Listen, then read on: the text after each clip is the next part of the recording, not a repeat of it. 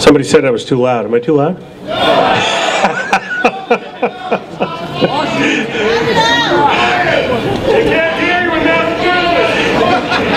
I don't think they can hear me in Massachusetts anyway, so once the word liberty came out of my mouth, they stopped listening.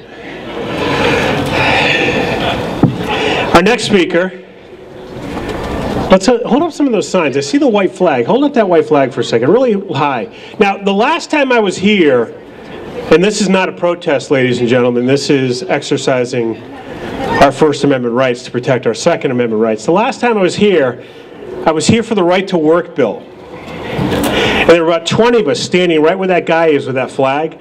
20 of us who supported that bill. We were surrounded by 5,000 union members.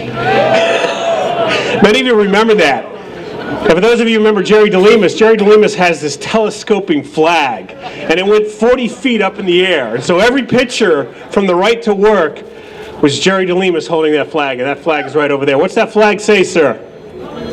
Come and take it. I see three or four of those. Good job.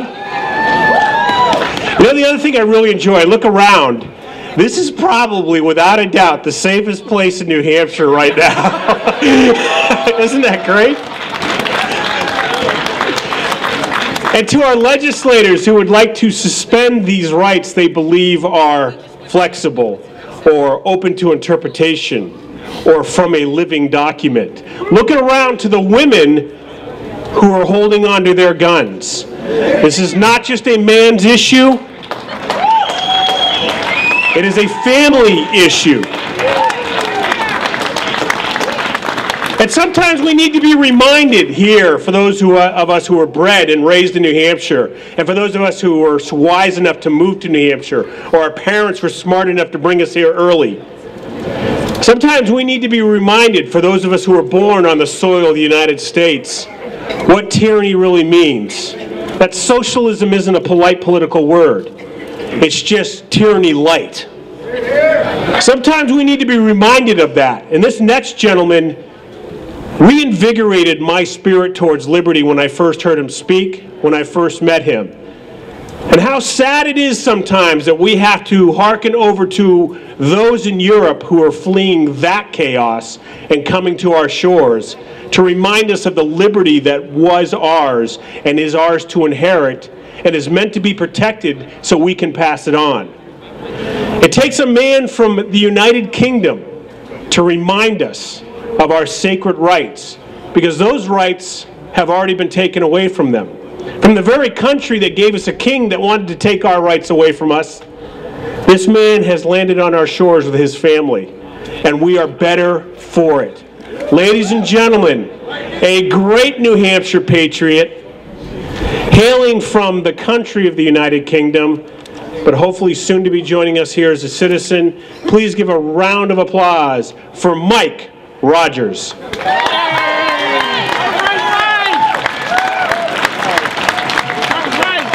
Ladies and gentlemen, hello, I'm British and my name is not Piers Morgan.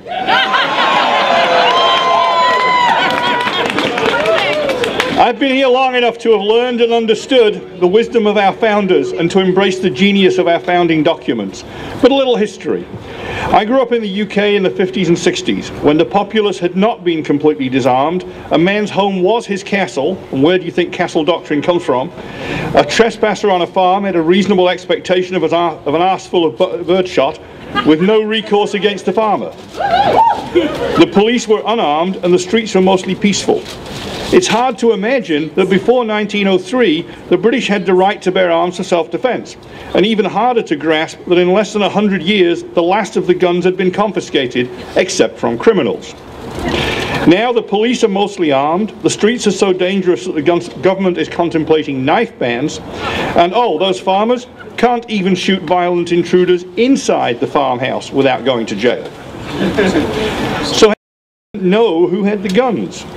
Registration, of course, beginning in 1903 and so comprehensive by the late 60s that everything from AK to Zastava was on file with the government.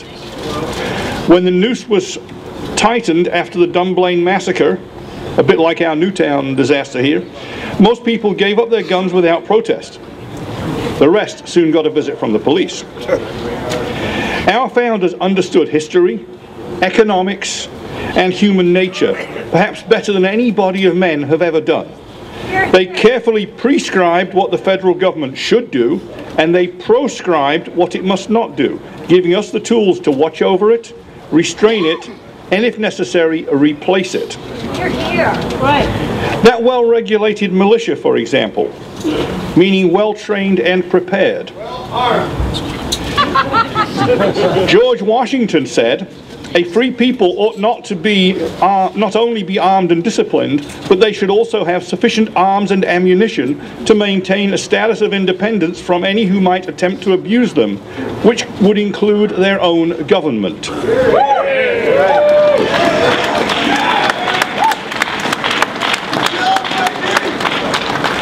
Unlike the British, who except for the Magna Carta have an unwritten constitution, we have a set of rules which are explicitly designed to limit government and an intentionally armed populace, like the Swiss, because when the government fears the people, there is liberty.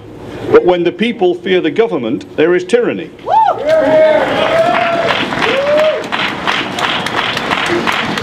The communists in Russia knew it and disarmed the peasants. Indeed, there were articles in Pravda recently reminding us not to fall into that trap. Hitler knew it and disarmed the middle class. Mao and Pol Pot knew it too. You can bet that our progressives know it, and that they know that they cannot reduce us under absolute tyranny as long as we are armed. You're here. Choose carefully not only your federal representation, but those all-important bastions of your freedom, the state, the county, and the local officials. And a word for those listening who do not have or do not like guns. Let me paraphrase the German pastor Martin Niemöller. If first they came for the gun owners and you did not speak up, there would be no one left to defend you when it was your turn. Do you feel lucky? Well, do you? The American Revolution was sparked by the colonists fighting to preserve their rights as Englishmen against distant and tyrannical government in London. Except for the government being in DC, is that not our situation today? I stand with you in that fight.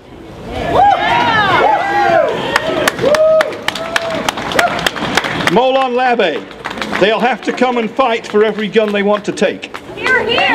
Come and take them. And what and what and what one more thing for the gentleman with that sign about if guns are outlawed. They can try it. It. They will not succeed.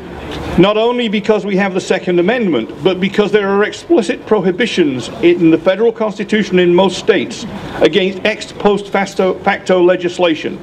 You can't make me a criminal after the fact for something that I do legally today.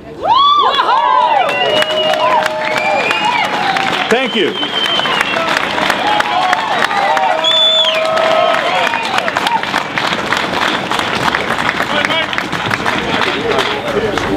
An opera singer and a man with a British accent. You think this was PBS?